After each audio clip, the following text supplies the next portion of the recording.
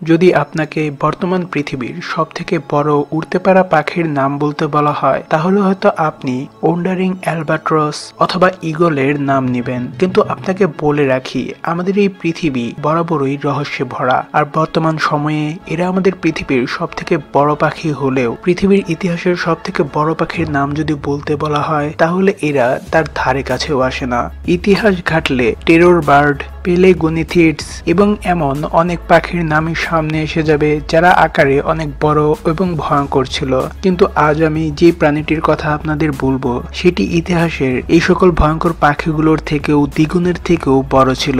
আর এই দানবাকৃতির পাখির নাম ছিল কোয়েটজাল কোটলাস। বন্ধুরা, কোয়েটজাল কোটলাস লেট ক্রিটেসিয়াস যুগ বা আজ থেকে প্রায় দশ কোটি বছর আগে থেকে সাড়ে ছয় কোটি বছর আগে পর্যন্ত এই পৃথিবীতে বসবাস করত। আর সেই সময় এরা বর্তমানের নর্থ আমেরিকা অঞ্চলে বসবাস করত। এদের অবশিষ্টাংশ প্রথমবারের মতো উনিশশো সালে টেক্সাসের বিগ ব্যাংক ন্যাশনাল পার্কে পাওয়া গিয়েছিল।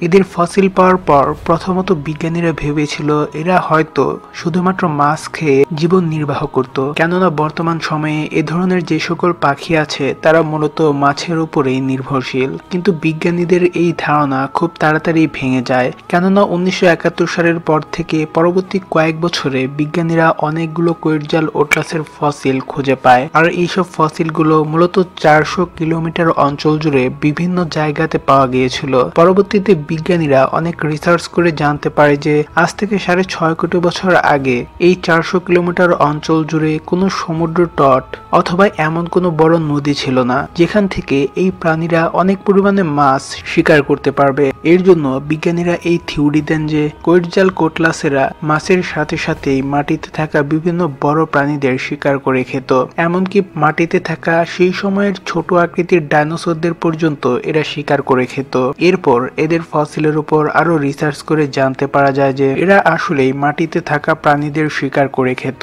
যার কারণে বিজ্ঞানীরা এদেরকে ক্রিটেশিয়াস যুগের এক ভয়ঙ্কর উড়তে পারা পাখি বা প্রাণীর উপাধি দিয়েছেন। এর সাথেই এদেরকে অতীতের ডাইনোসর পাখিও বলা হয়। ভয়ঙ্কর হওয়ার সাথে সাথেই এদের আকারও ছিল বিশাল আকৃতির। আর এদের আকারের ব্যাপারে জানলে আপনিও চমকে উঠবেন। প্রথমত বিজ্ঞানীরা যখন এদের আবিষ্কার করেন, তখন তারা ভেবেছিল এদের আকার পাখা মেললে পঞ্চাশ ফিটের মতো হবে। কিন্তু সময়ের সাথে সাথে এদের উপর আরও অনেক রিসার্চ হওয়ার ফলে বিভিন্ন বিজ্ঞানীরা ভিন্ন ভিন্ন আকারের কথা বলতে থাকেন। কিছু বিজ্ঞানীরা বলেন, কুইটজাল কোটলাস আকারে আটত্রিশ ফুট পর্যন্ত হতো। অন্যদিকে কিছু বিজ্ঞানীদের মতে, এরা আকারে প্রায় আটষট্টি ফুট পর্যন্ত হতে পারত। মানে এরা যদি পাখা মেলে দাঁড়াতো, তাহলে এদের দেখে কোনো ভয়ঙ্কর দানবের থেকে কোনো অংশেই কম মনে হতো না। এর সাথেই এদের উচ্চতাও ছিল প্রায় একটি দুইতলা বিল্ডিং এর সমান। মানে এদের উচ্চতা প্রায় আঠারো ফুট থেকে বিশ ফুট পর্যন্ত হতো।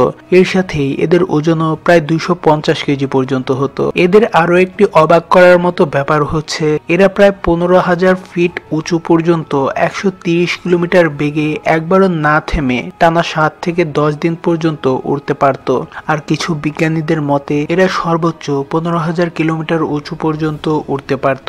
আর এই সময় এদের সর্বোচ্চ গতি হতো একশো ষাট কিলোমিটার প্রতি ঘণ্টা। একবার চিন্তা করুন, যদি এই পাখিটি বর্তমান সময়েও থাকতো, তাহলে তা আমাদের জন্য কতটা ভয়ঙ্কর হতো। এই পাখি খুবই সহজেই উপর থেকে এসে আমাদের ধরে নিয়ে চলে যেতে পারত, আর নিজের শক্ত ঠোঁট দিয়ে আমাদের মেরে খেয়ে ফেলতে পারত। তবে সৌভাগ্যবশত এই ভয়ঙ্কর পাখিরা বর্তমানে এই পৃথিবীতে আর নেই।